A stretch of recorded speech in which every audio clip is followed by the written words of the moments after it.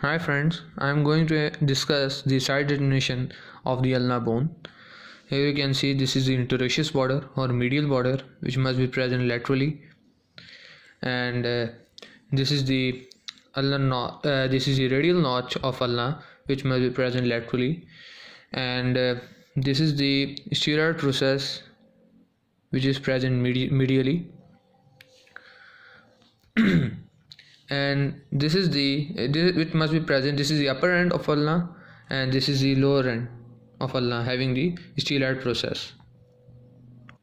This is the anatomical position of the ulna bone having the styloid process medially the interosseous border this is a sharp border which is interosseous border which must be present laterally.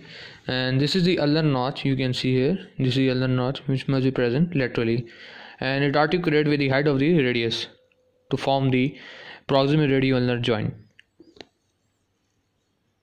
This is a whole about the ulna and you can see here this is the left ulna